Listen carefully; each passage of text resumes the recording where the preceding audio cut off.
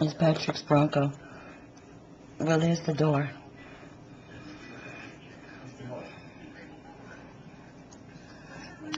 There's the wire, the lines. I just gotta watch those.